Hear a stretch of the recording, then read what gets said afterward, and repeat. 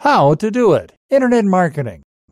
Okay, so now you know why internet marketing is a big deal and how it can help you to make money, find a job, or live your dreams. So now it's time you learn the fundamentals of how to actually get involved. And to that end, the first thing you should probably learn is SEO. Search Engine Optimization.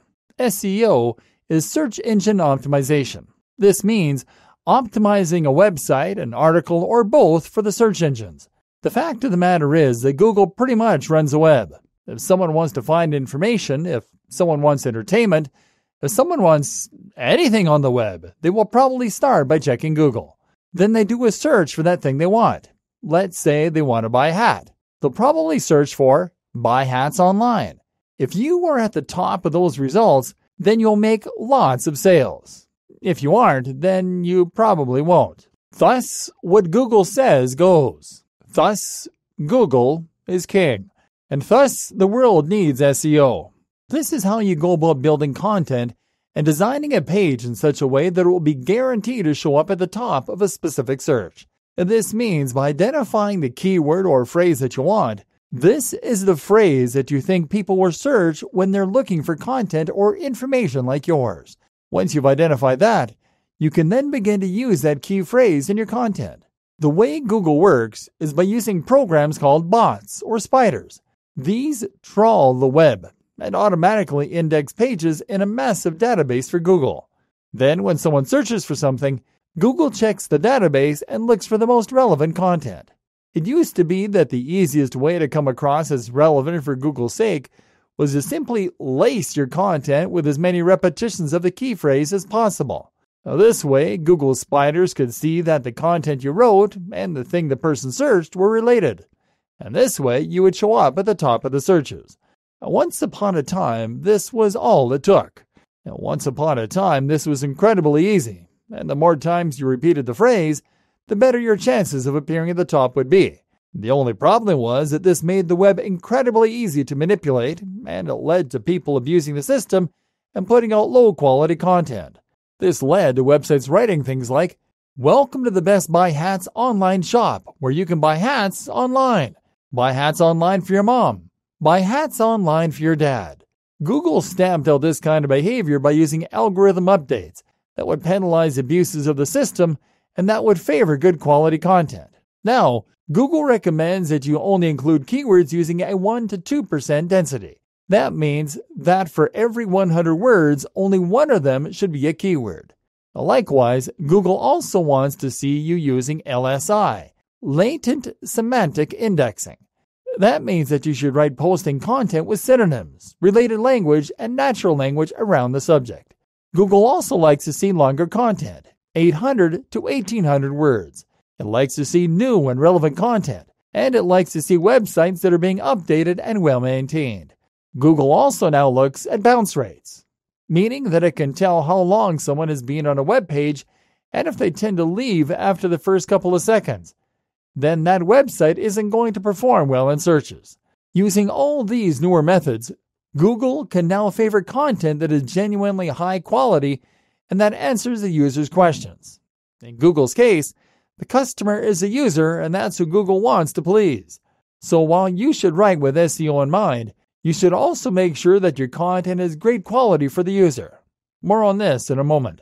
Other things you can do for your SEO including adding keywords in key places, such as the opening paragraph and the title, such as the file names, the names of your images, for example, and the meta descriptions and other tags.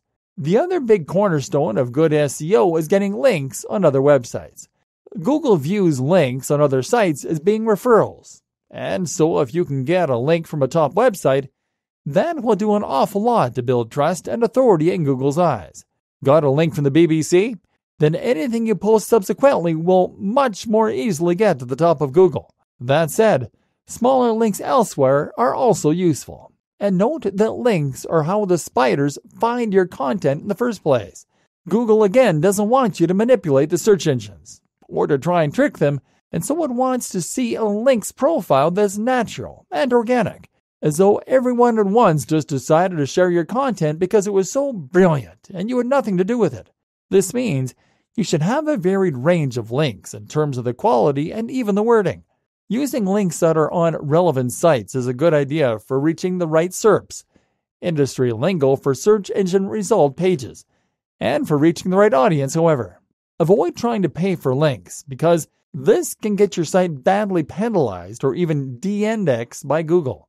All of this is going to help your site to get seen. And if you post regularly and keep looking for popular topics, then you should gradually begin to grow an audience. In theory, more marketing strategies, SMO, and more. While this is a decent strategy, though, it is also very slow and certainly not guaranteed. It is not therefore recommended that most businesses and brands rely solely on searches for their traffic. Instead, it is also a good idea to be more proactive in your promotional activities by getting out there and reaching out to your audience. For instance, you can do this with PPC. This is pay per click advertising which is a form of paid marketing where you only get charged when someone clicks on the ad. We won't be going into great depth on that here, but suffice to say that this is worth looking into and a skill that you should add to your bowl. More fundamental is SMO, or social media optimization. In other words, you need to get out there onto Facebook, Twitter, and Instagram, along with the others like Google Plus and Pinterest, and you need to start marketing yourself. That means you need to post regular content and build a following. Invite people to follow you and ask them to share and like your posts so that their networks see them too. You can also seek out forums, social media communities, subreddits, and more places where people might appreciate your content and where your target audience is likely to be spending its time. There are many more tricks you can use to get the word out about a brand or website too. One of the most powerful and effective is something called influencer marketing. This means that you look for someone on the web who is an influencer, someone who has a large following already, and who can help you reach that large audience. You then message them and find some kind of trade that you can do. For example, you can let them post something to your audience in exchange for posting to their audience. That way, you will both gain some of each other's subscribers. There's much more to internet marketing. Building a mailing list of your top fans is a very good idea, for instance as is guest posting and writing blog posts for other sites. At the end of the day, it comes down to strategy. You want to gain the attention of real followers, and at the same time, you want to encourage Google to pick up your content and add it to its index. For more free educational content, visit learnforfree.biz. Content produced and distributed by AllSuperInfo.